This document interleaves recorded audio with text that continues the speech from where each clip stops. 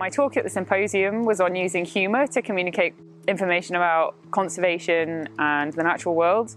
Uh, I think humour is a really underutilised form of communication, especially in the environmental sciences.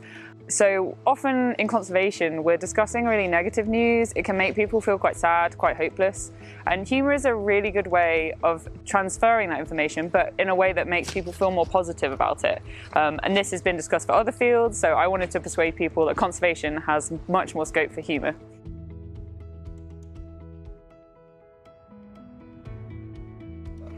Yeah, so I started um, with someone that I'd interacted with on Twitter. We started a hashtag which was Does It Fart? Um, this was really popular. We it, initially we turned it into a spreadsheet, and that was crowdsourced from lots of different scientists on Twitter and pet owners and zookeepers.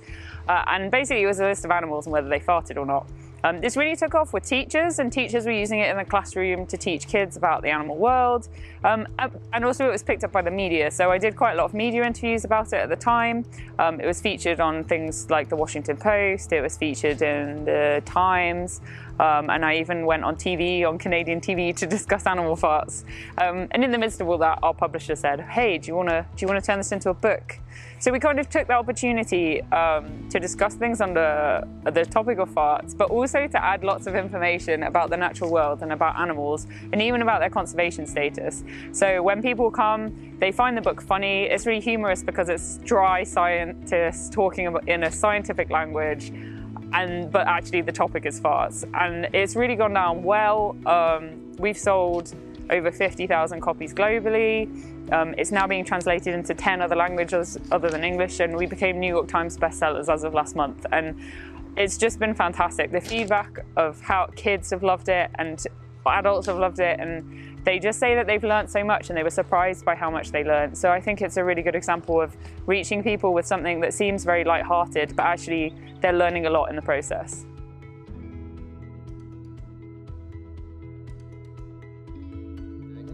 I think for me, it's about, it's always going to have to be what you also find funny and just kind of test the waters. If you have any sort of platform, you can kind of see what people find funny, what people don't find funny. But I also think there's an element of luck. You can't super predict what people are going to pick up on, what the media is going to pick up on. So I think it's just a case of trial and error and just for me, I find if it's humorous to me, it's often surprisingly humorous to other people. What kind of started off as a bit of, I might say, like an in joke amongst scientists, actually spiraled into something where there was broader public interest. So I think it's just about being a scientist, being out there, being in the public sphere. And if you do like humor, then don't worry about incorporating that into your science communication because I think it makes it go so much further.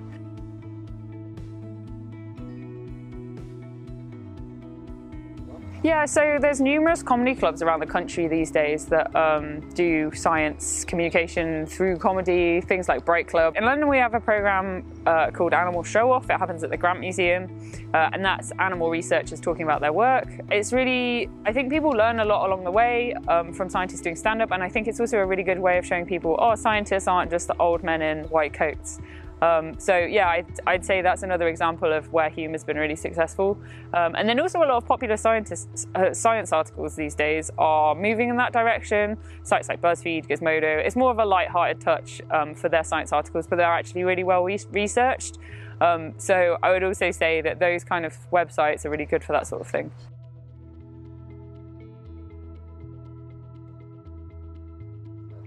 Yeah, the talk went really well. I was really pleased with the feedback. People were saying they felt really inspired. I think we really succeeded in our aim of showing people whatever you feel comfortable with and whatever you're interested in and however you like to communicate, then there's a place for you in science communication. And I also think it kind of encouraged people to think a little bit outside the box, maybe to try new things. So I really hope people will go on and take that on board.